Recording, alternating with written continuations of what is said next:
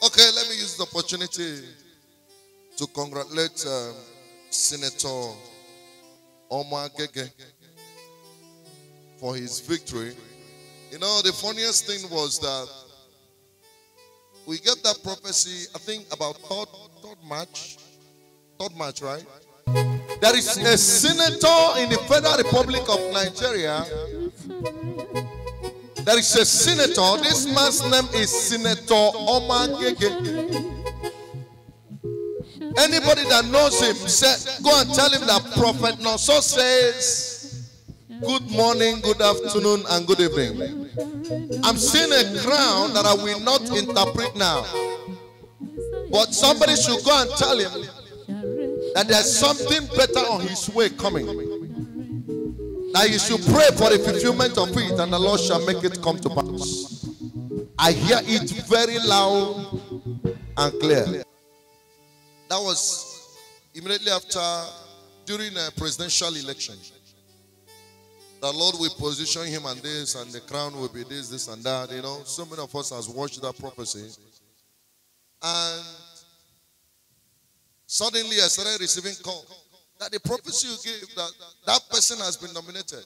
So I purposely said, let me know what people are saying on social media. People, a lot of people were against him because of some certain things they believe he acted or he did.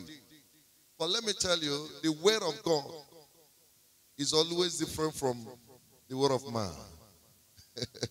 Amen. So I want to say congratulations to you for your victory as the Deputy Senate President, Federal Republic of Nigeria.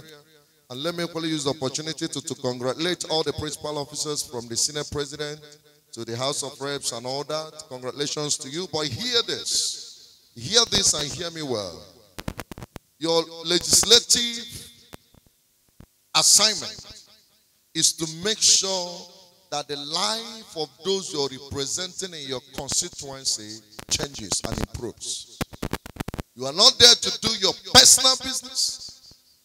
You are not there to make sure that whatever you desire or some of your mentors from anywhere comes to pass. You are there to make sure that a common man like us will experience a good governance in Nigeria. And our responsibility as men of God and children of God across this nation is to pray for you. We'll be praying for you. But hear this. Please, Senator Omo-Agege, most especially you that God reveals to us here. We don't know you, we've not met you. Even Tina, I'm talking, I don't know you. And bet me, I don't even need to know you. But I want to sign it as a warning for the Lord who has spoken to us. Because of this, know we that God has positioned you for something and make sure that that thing He has positioned you for is what you will do. I, I will only say to you, congratulations, and I pray for you. May the Lord give all of you and you the grace to do what He, God, desire for this nation. To God be the glory. Can we celebrate God? Can we celebrate God here?